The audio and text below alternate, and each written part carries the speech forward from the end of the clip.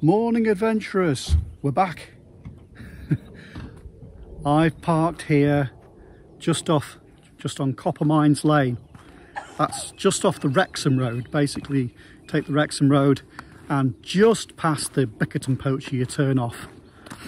Uh, so today we have a companion uh, route to go with the Sandstone Trail Part 2 video. So those of you who've been following it, I ran the whole of the Sandstone Trail, just under 35 miles from Frodsham through to Whitchurch, uh, and I split it into three videos. So the second video, I go from Willington through to Bickerton Hill. So, uh, the companion route here today, I'm going to do a little three and a half mile route. So, for those people who like the look of the scenery but want a circular route and uh, you know don't want to go do a massive distance. Also again today great views fantastic views and a pub. So I, I think you'll love this. I think you should all give it a go. And uh, if you're new welcome. Uh, please consider clicking the subscribe button. There are new routes every week. And if you subscribe you'll get notified. Uh, there's a, a map on my website of the route and also directions to where I parked so go check that out. Right, um, so where are we going to head? I'm going to head up uh, from Copper Mines Lane up Bulkeley Hill for a fantastic view and then I'm going to follow the sandstone trail back towards Beeston and then around past the Pheasant Inn at uh, Higher Burwardsley. Beautiful spot, lovely place to sit outside, it's a fantastic view. So uh, give that a go and then back to the car. There's actually several good routes on uh, this stretch so I will be coming back to, cut, to film a couple more at some point uh, but uh, this one's a good one. So just sit back and relax and enjoy the ride.